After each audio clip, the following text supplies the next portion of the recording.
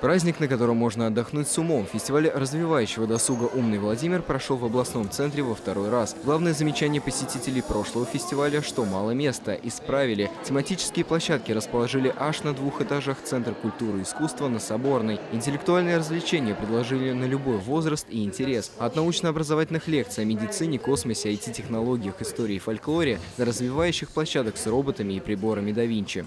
Если кратко, то я ее для себя сформулировал так. Это пропаганда умного образа жизни. То есть я хотел бы, чтобы то, чем я занимаюсь, стало более популярным занятием в городе.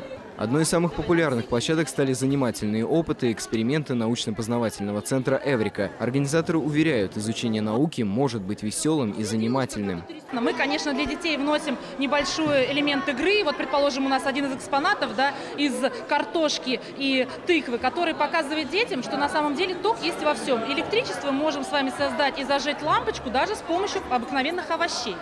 Или, предположим, с помощью нашего плазменного шара мы становимся настоящими джедаями с джедаевскими мечами.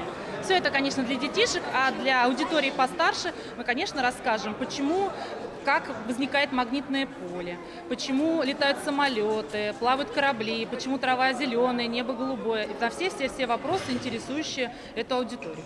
Саша Челетков приехал на фестиваль «Умный Владимир» из Камешкова. В свои 13 лет он очень любит учиться и старается каждый день узнавать что-то новое. Из всех площадок его привлекло скорочтение и развитие памяти. Саше дали задание – нарисовать картину двумя руками одновременно.